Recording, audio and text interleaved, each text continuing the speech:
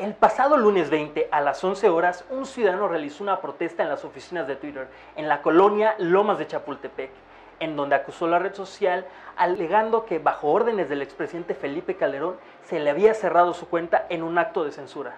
Este ciudadano es Gerardo Hernández Noroña, diputado del PT, político de izquierda y controversial activista social, quien en más de una ocasión ha tenido roces con personalidades como Javier Lozano, Chumel Torres o el periodista Jorge Ramos, entre otros.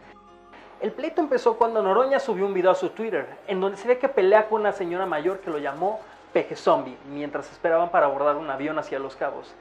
En el video, Noroña calificó a la señora de ignorante y majadera y le invitó a que respetara a su presidente.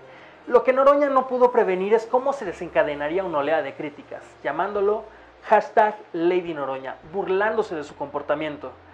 Estas burlas tomaron una siniestra vuelta cuando se filtró el número privado de Noroña, lo que provocaría que recibiera insultos y hasta amenazas en su celular.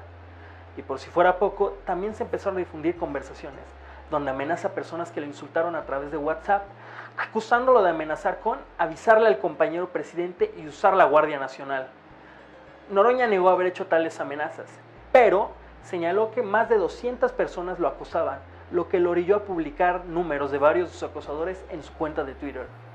La red social consideró que esto viola sus normativas, ya que los números telefónicos que compartió son considerados datos personales, por lo cual desactivó su cuenta.